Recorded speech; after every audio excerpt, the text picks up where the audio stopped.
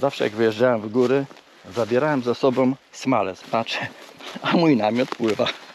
To znaczy pływa. Manaszka wypływa z namiotu. Na łyżkę zrobić chyba każdy potrafi. No ja nie umiem. Wysta- Śpię w tym namiocie w nocy, nagle słyszę jakiś szum, huk i plusk potężny. Łyko, łyko lipowe bardzo ładnie związałem, tu gałęzie poprzeczne, rzuciłem ten plecak, związałem paskami. Siedzimy w tych czołgach, szron od środka, kto ucho przytka, to już go może nie, nie odzyskać. Wybraliśmy się z tatą do lasu sprawdzić, czy są tutaj jakieś grzyby. I prawdopodobnie jak zwykle wrócimy z niczym, więc żeby jakoś spożytkować ten czas, wpadłem na pomysł, że moglibyśmy porozmawiać o tym, jak kiedyś wyglądał bushcraft w latach, y, tato, jakich biwakowałeś po lasach, po górach? No, zacząłem w latach 70. ubiegłego wieku. Ubiegłego wieku. 70, tak? Tak, tak, no wtedy kiedy miałem chyba już szkole średniej. Tak samodzielnie wyjeżdżałem po raz pierwszy mając lat 16. No to wtedy mój pierwszy namiot, pierwsze buty górskie no i pierwszy wypad w Karkonoszu. No i właśnie, i, i jak? Zacznijmy od sprzętu, bo to się przewija notorycznie. Jeżeli ktoś zaczyna przygodę z bushcraftem teraz, w dzisiejszych czasach, no to pierwsze co to myśli, jakiego sprzętu będę potrzebował, Yy, w co muszę się obkupić.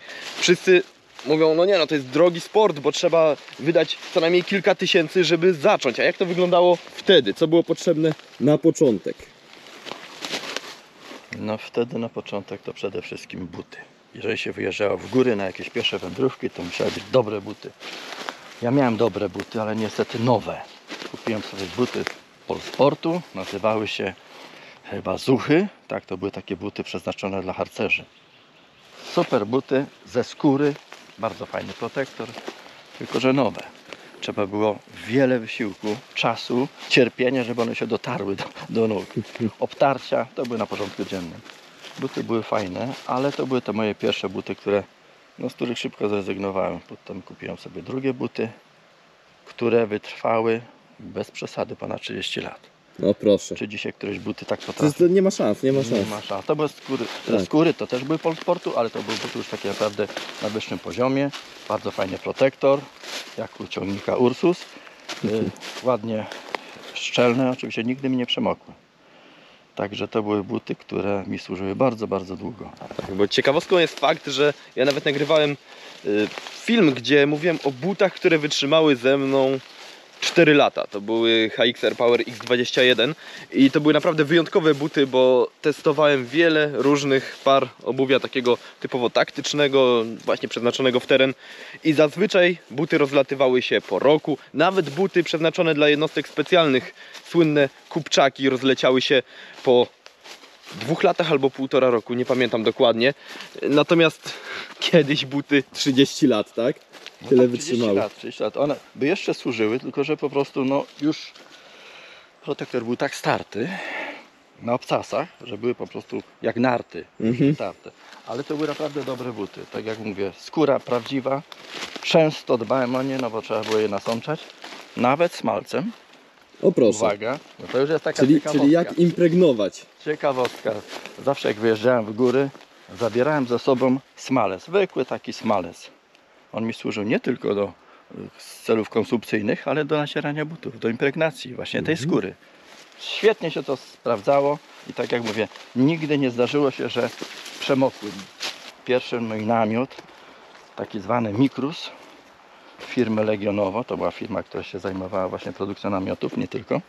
No to były naprawdę fajne y, namioty. Dlaczego fajne? To był namiot bez tropiku, ale lekki. Jak na tamte czasy on ważył jakieś 3 kg, czyli do takich pieszych wędrówek był naprawdę fajny. To on nawet lekki jak na dzisiejsze czasy, powiedziałbym, bo No tak jak mówię, nie miał tropiku. teraz tą dwójkę, co rozkładaliśmy w ogródku, 4 kg.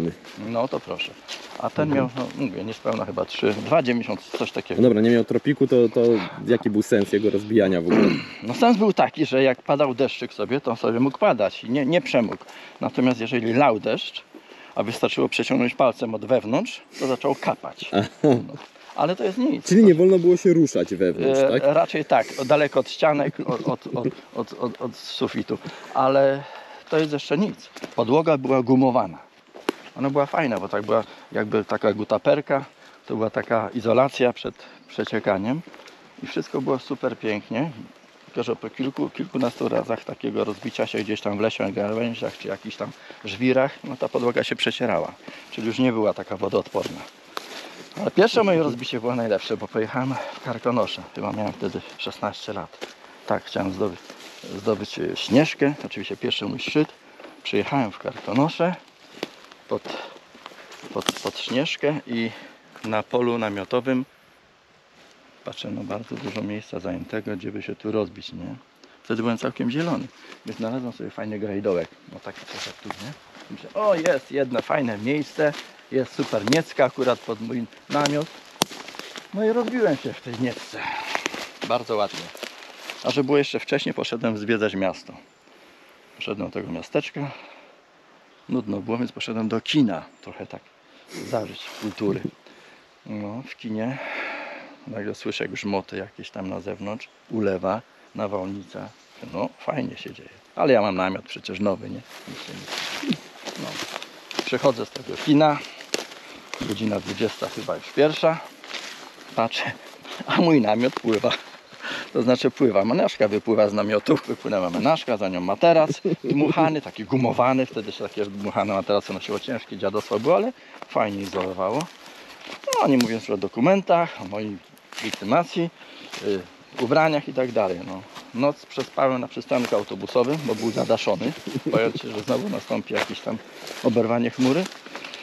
No i fajnie. Rano pozbierałem wszystko, powiesiłem, suszę. No i idę na skalny stół, żeby stamtąd wejść na śnieżkę. Szedłem 2,5 godziny. No i szedłem, fajnie, no trasa super. Jeszcze taki plecak z takimi cienkimi ramionczkami harcerskich. Wrzynający Tak, się pewnie. żywający się totalnie, wszystko tam lata, nabrałem tych rzeczy, nie wiem po co, na wypadek, na W. Jedzenia, oczywiście szklane, e, e, szklane napoje w takich butelkach litrowych, ciężkie to dziadostwo, no ale targałem. Doszedłem do skalnego stołu, fajnie, już niedaleko Śnieżka. W czasie się dwóch funkcjonariuszy służby granicznej. Proszę. Dobry, zasalutowali, proszę dokumenty. Ja mówię, no nie mam, bo mi zalało, nie? W namiocie się suszą. Uśmiechnęli się do siebie i pokazali palcem tak, w dół. Tak mój wyglądał pierwszy wyjazd, ale potem było fajnie. Sowia Dolina, tamte inne, te, oczywiście znaki walonów. Zaczęło wtedy mi już tak pomału łapać ten, ten bakcyl szukania minerałów. No właśnie, no bo to jest ważny temat. Teraz, jeżeli ktoś jedzie na bushcraft, no to zwykle jeżeli zapytamy po co bushcraftujesz, to powie, że no aby odpocząć, żeby e, nabrać energii na nadchodzący tydzień. Po prostu jest to wypoczynek i głównie polega na leżeniu w hamaku. Natomiast kiedyś ten bushcraft to nie był jakby, jakby to ująć, y, sam w sobie nie był celem, o może tak. Bo u taty na przykład on był koniecznością.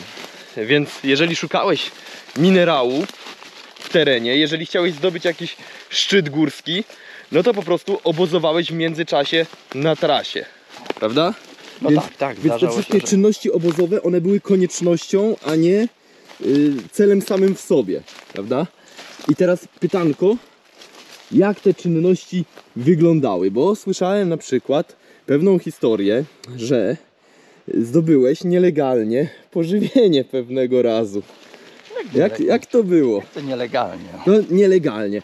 To też musimy mieć na uwadze to, Że to były zupełnie inne czasy. Teraz, jeżeli ktoś chciałby coś zrobić nielegalnego, no to słusznie spotka się z krytyką w lesie, no bo bushcrafterów jest kilkadziesiąt tysięcy, jeżeli już nawet nie kilkaset tysięcy. Natomiast wtedy można ich było policzyć sobie na palcach kilku rąk, tak? Ja, ja tego nazewnictwa, ten termin dopiero teraz, wiadomo, on jest modny. Kiedyś to było zwykłe obozowanie, wędrówka, włóczykistwo i tak dalej, nie? Turystyka Tak, to jest termin wprowadzony na No. samym początku już przez amerykańskich traperów, więc on tutaj w Polsce tak jakby nie funkcjonował kiedyś. O tak, traper to był bardzo modny, fajny, tak każdy chciał być traperem, jakimś Indianinem, jakimś Tak. poszukiwaczem skarbów, złota. Ty się naczy, naczytałeś z tego co wiem Karola Maja, tak? No, Karol Maj, wiadomo, i innych tych autorów, którzy pisali, no, takie ciekawe książki. No, bo wiadomo, w dzieciństwie każdy chciał być kimś znanym, ciekawym, naśladować tych wszystkich bohaterów powieści. No ale to w życiu było całkiem inaczej. Mówisz o tym nielegalnym, no nie wiem do czego nawiązujesz, a może do mojego łowienia strągów, tak? Dokładnie tak. Aha, no więc tak, kiedyś wybrałem się w Góry Kaczawskie. Wspaniałe tereny, fajne góry, nawet nie tak bardzo zdeptane przez turystów. No i cóż, nad rzeką Kaczawą, bo taka nazwa, rozbiłem namiot. I teraz też przygoda. Uwaga, jeszcze jedno ostrzeżenie. Nie rozbijajcie się w terenach zagrożenia. To znaczy teren zagrożenia. Ja nie wiedziałem, że to jest teren zagrożenia. Rzeka Kaczawa, piękna łacha piachu, Mhm. półwysep. Przeskoczyłem przez tą rzekę, przeszedłem w sumie, buty mi nie przemokły. Po kamieniach rozbiłem sobie namiot. No tak. Z drugiej strony stok, dosyć wysoki, stromy, lekko zalesiony, ale wszystko ok. Rozbiłem namiot w nocy, po zmęczonym takim dniu, bo tam szukałem wtedy y, agatów, Góry Kaczawskie, wiadomo, koło nowego kościoła, to już od razu podaję. Bardzo ładne mamy tereny, gdzie występuje agat. Ciekawe, dużo poszukiwaczy teraz tam jeździ. Tak, kopią tak, że nawet pod to, ko- kopali tory kolejowe, ale to już jest inna bajka. No w każdym razie śpię w tym namiocie w nocy, nagle słyszę jakiś szum, huk i plusk potężny. No nic, nie wychodzę. Z drugiej strony namiotu znowuż coś leci z góry, plusk. No, okazało się, że tam były takie po prostu nawisy skalne z potężnych głazów. I nie wiem, czy jakiś zwierz, czy same się uruchomiły, zaczęły te głazy spadać. Głazy po kilkadziesiąt kilogramów, co najmniej, nawet 100 chyba. Cieszyłem się, że przeżyłem. No, podobnie w Alpach Tak. zrobiłem też. No, Też tylko słyszałem w nocy, jak te lawiny skalne się urywają. One chyba same z siebie po prostu. tak, może się po prostu tam gdzieś, nie wiem, żyją, więc wystarczy wtedy ruszyć jeden kamień, reszta leży. Także przeżyłem szok. No, wyszedłem z tego namiotu, szybko się, się zwinąłem rano, oczywiście już pomyślałem już na drugi raz, uważaj, gdzie się rozbijasz. Także nie necka, nie, niecka, ale wzgórek, okopany namiot, zwłaszcza te Tak. namioty, które tak jak mówię, dawniej przeciekały bardzo. Podkładanie liści lub jakieś tam powiedzmy, najlepsze są yy, świerkowe gałązki. Wtedy się sprawdzały super. No, dokładnie. To, No. Jak widzicie, niewiele się zmieniło przez ile? 40 lat? 50 lat? Pięć... Dobra, wystarczy. No niewiele się zmieniło, bo jeszcze ostatnio nagrywałem poradnik, jak y, dobrym materacem są właśnie świerkowe gałązki, a tutaj widać to jest już Tak, słuchaj, Wiedza trawa od lat świerkowe gałązki stosowana. Bardzo fajnie izolują, a przy okazji Mhm. odświeżacz powietrza. Jak one pięknie też, pachną. To prawda. Fantastyczny zapach żywiczny i tak I dalej. popatrz, jak to, jak to wszystko się zmieniło i nabrało jakiegoś takiego sensu, znaczenia, w sensie zostało zdefiniowane. Survival, bushcraft. Kiedyś to się tak nie nazywało tutaj, a mimo to ty tych samych technik używałeś, prawda? Bo to są To rzeczy, sprawdzone techniki. stare, sprawdzone techniki, Oczywiście. które niekoniecznie były kiedyś definiowane jako techniki survivalowe. No nie. No, a jednak Sprawdzone funkcjonowały. metody, które się powiedzmy stosowały i stosuje nadal. Czekaj, bo zatrzymaliśmy się na, na nielegalnych strągach Tak, przecież. dlaczego? I teraz wracamy do tego smalcu, o którym mówiłem wcześniej. Moja mamusia, świętej pamięci, kiedy wyjeżdżałem, to wiadomo, te pstrągi? Synku. Znowu smalec. Cicho, synku, sweter, buty na zmianę, wszystko, więc plecak wyglądał jak garb wielbłąda, bo to były takie plecaki harcerskie zwykłego Mhm. prezentu zielonego. No i masz tu smalec. A po co im mam smalec? No jak to po co, synku? Pajdę chleba kupisz, jakąś cebulę wyrwiesz z ogrodu komuś albo poprosisz. Aha, dobrze. Ziemniaka usmażysz. No pomyślałem, no nie głupie.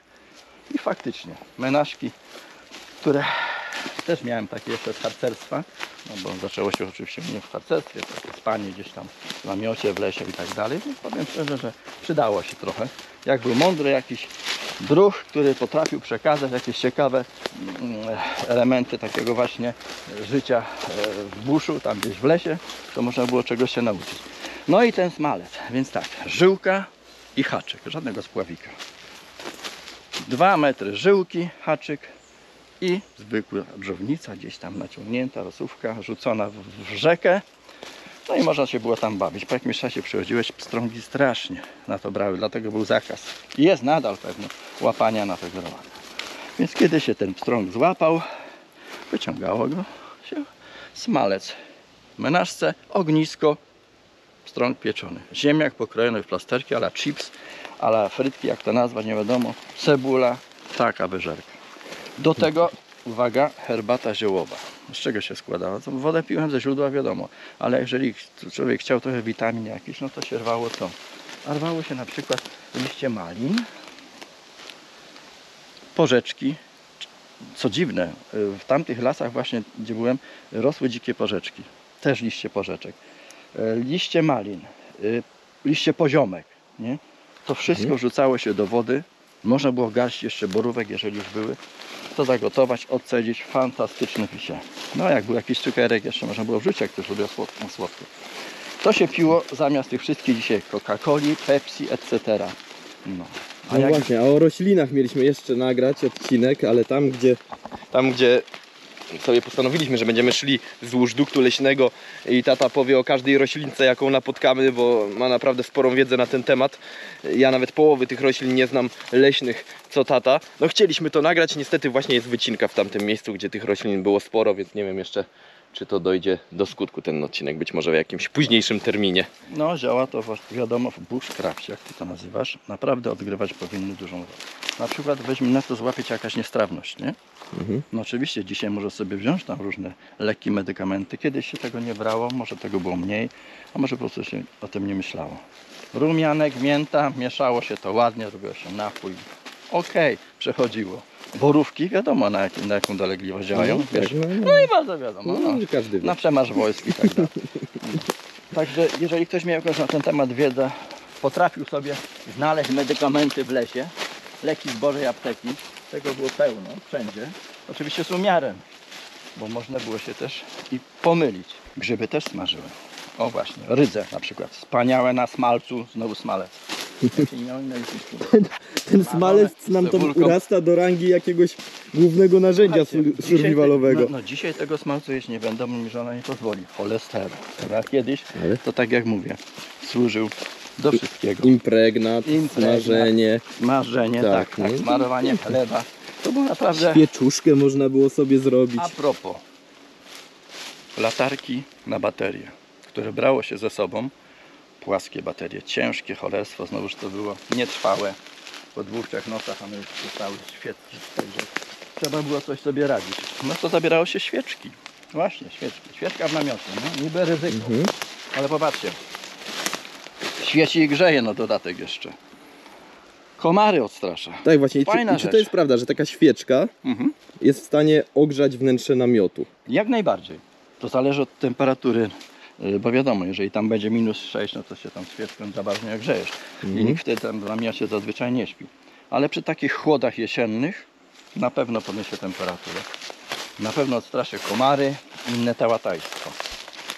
Tak, bo w sumie dym to jest jedyny skuteczny środek na komary. I świeczka tak dużo nie, nie waży, można ją wrzucić do plecaka na wszelki wypadek. Mhm. Gdyby się tam powiedzmy, gdyby zabrakło jakiegoś źródła światła. Wiele przy świeczce sprawdzałem właśnie tras, zanim wyruszyłem rano, w nocy, czy tych można. Także to jest jeszcze dodatkowy taki, taki, taka wskazówka, że warto ją mieć. Wytwarzanie przedmiotów.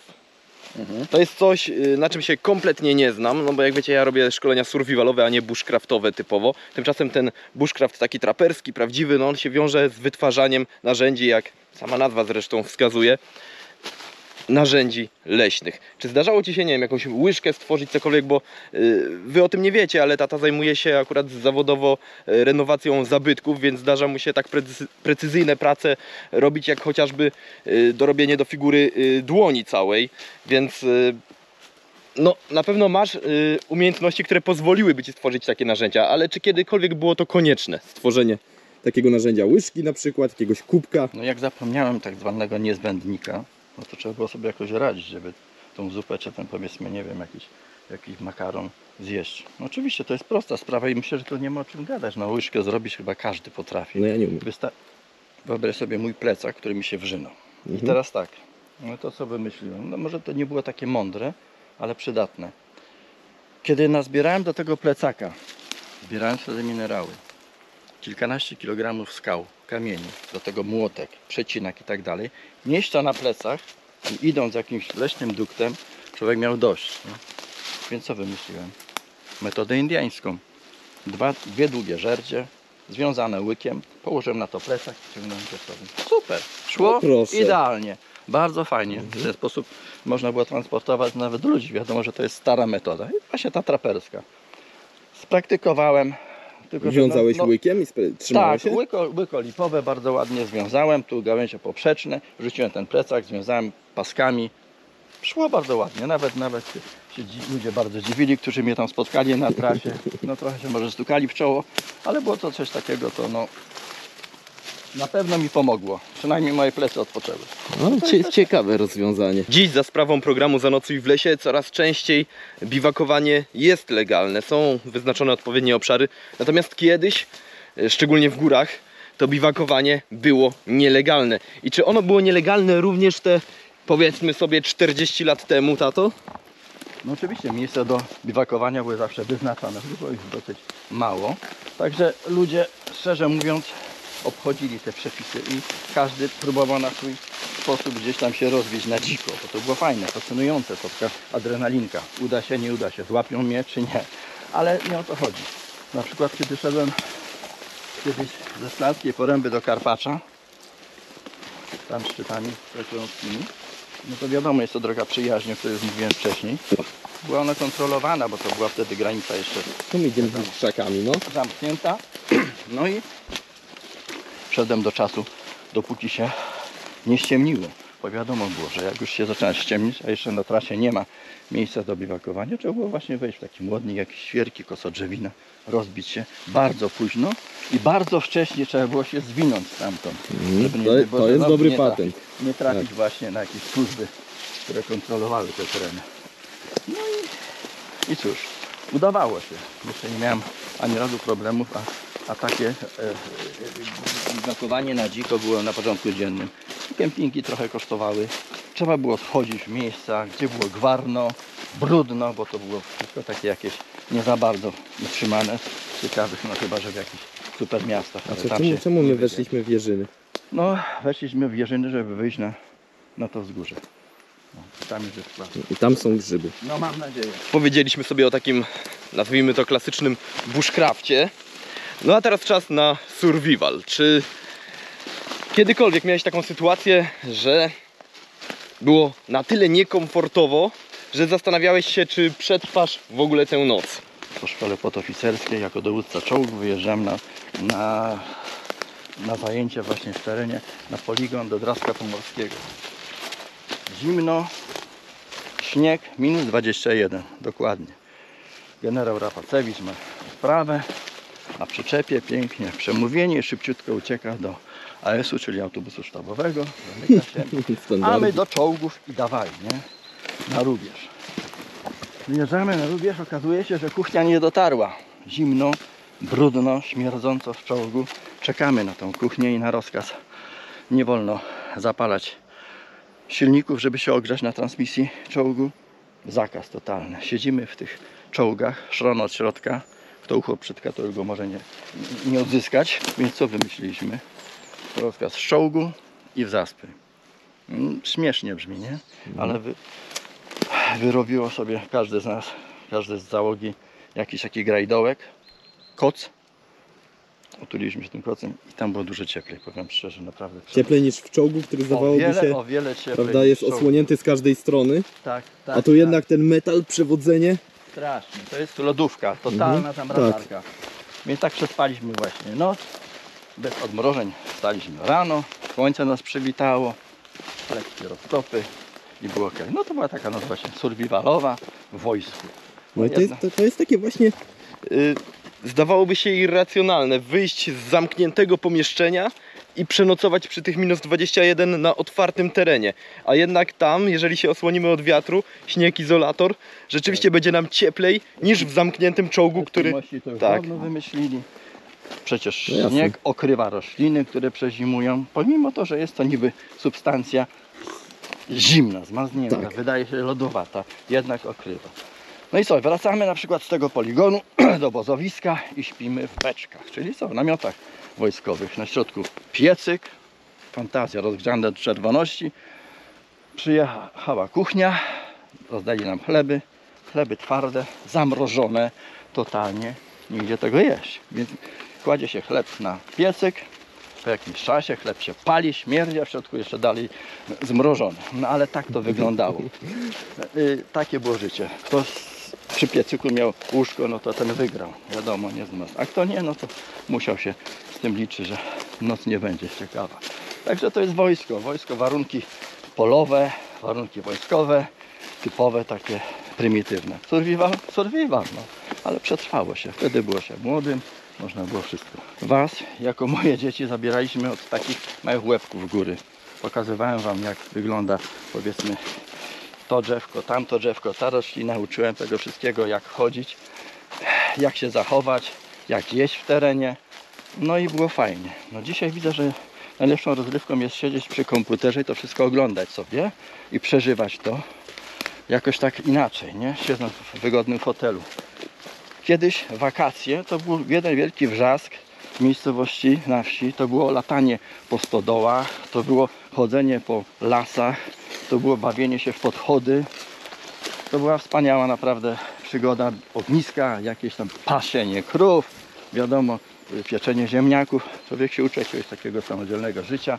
Był bardziej otwarty, nie było tego nie ruszaj, bo to brudne, spadł ci chleb na ziemię, to nie bierz tego, bo to już jest B, wiadomo, dostaniesz zarazy jakieś. Nie, to były naturalne szczypionki, które Dlatego twoi wnukowie jedzą prosto Dlatego pod stołu z wnukowie- paprochami razem. Tak, nie, nie, żebym, żebym to promował, broń Boże, bo wiadomo jak jest, Ale zdrowi są zdrowi. ale zdrowi są, no dzięki Bogu. Dlatego mówię, dla młodzieży przydałoby się takie, przynajmniej raz na jakiś czas wyjście w teren, wyjście w przyrodę do lasu z rodziną, zamiast wyjazd powiedzmy na zakupy do supermarketu i tam spędzanie czasu. O proszę. I już mi się przypomina jeden nocleg w takim właśnie paśniku. W paśniku spałeś? Oczywiście, że tak. W górach. Pamiętam Czechy. To już nie Polska. Wyjeżdżam na poszukiwanie złota przez góry, całym sprzętem. No ale że ten dzień okazał się jakiś taki mało wydajny, więc myślę sobie, no nie będę wracał do, do domu. Prześpię się i rano zacznę na nowo. I właśnie taki paśnik spotkałem po drodze. Wystarczyło rozłożyć tylko jakieś koszule, bo wtedy oczywiście wyjeżdżałem bez śpiwara, nie wiedziałem, że będę spał w tym. Rano się człowiek budzi, jak nowonarodzony i w takim miejscu. I popatrzcie, czy to nie jest piękne? I to uczy właśnie życia.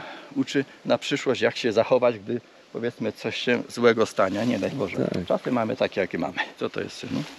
To jest ojcze coś, co będzie już elementem kolejnego odcinka, bo zaraz Aha. powiemy sobie o ziołach, bo widzę, że trochę tego zielska tutaj rośnie, więc Na dzisiaj się żegnamy. Zapraszam Was na kanał Millworld, gdzie towarzyszący film będzie o sprzęcie, będzie trochę o spodniach, które tata ma na sobie i testuje już od dwóch wyjazdów, powie No fajne. To...